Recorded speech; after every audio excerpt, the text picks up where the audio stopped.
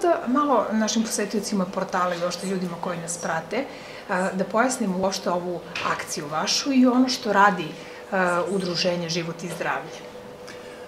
Udruženje Život i zdravlje je organizovano 2009. godine.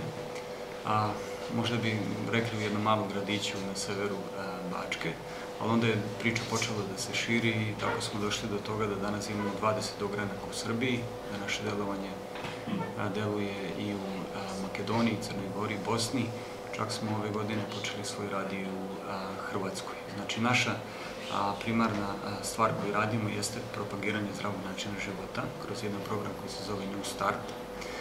I e, prosto mi to radimo iz jednog razloga, zato što je zdrav način života danas najodgovorniji za dugovečnost i za zdravlje. To je pokazalo jedno istraživanje 2006. godine gde su oni analizirali šta utiče na dugovečnu sreću i zadovoljstvo životom i onda su došli do zaključka da od 50 do 70% zdrav način života, zapravo život kakav živimo. Genetika je tu bila nekih 10%, zapravo 20%, lekari 10% i onda životna sredina 20%. Iz tog razloga mi želimo ljudima da pomognemo, da razumeju da je važno ono što rade sa životom svojim, znači kako tretiraju svoje telo i šta u njega ubacuju.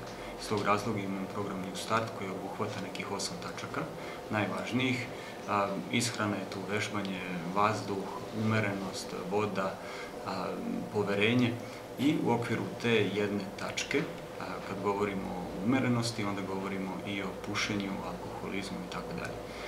Pošto to imamo u našem programu, znači mi smo pobornici nepušenja, abstinencije, a čuli smo od doktorke Plavšić zašto je to važno i želimo da skrenemo pažnju tu gde postojimo kao klub zdravlja, zapravo ogranak, i da pokrenemo građanstvo na razmišljanje kakav bi život bio bez duvanskog dima.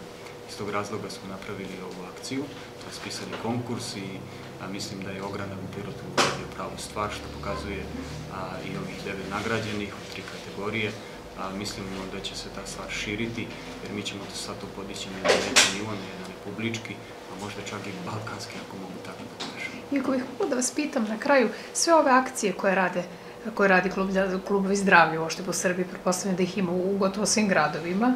Da, u 20 A, ovaj, recite mi, da li uspevaju akcije?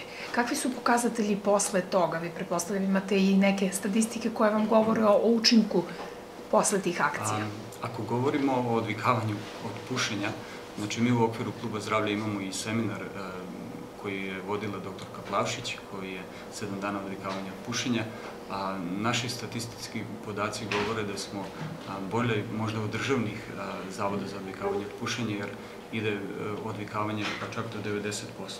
A mi posle od 70 do 90% i mi onda pratimo te ljude čak godinu dana posle odvikavanja i mogu vam reći da se ljudi jako malo vraćaju na te loše navike.